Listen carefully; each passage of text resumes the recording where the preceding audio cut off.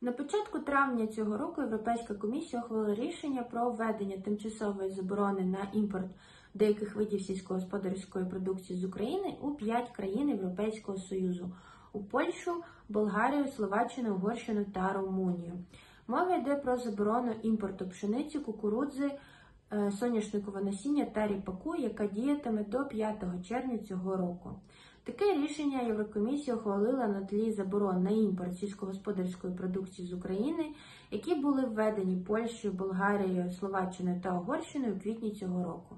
Очікується, що ці заборони будуть скасовані, так як діятиме рішення на рівні Європейської комісії.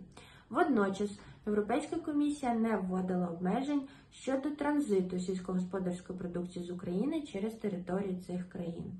Відомо, що Польща планує звертатися до Європейської комісії з проханням провести розслідування стосовно впливу зростання імпорту інших видів сільськогосподарської продукції з України, зокрема молочної продукції, на її економіку.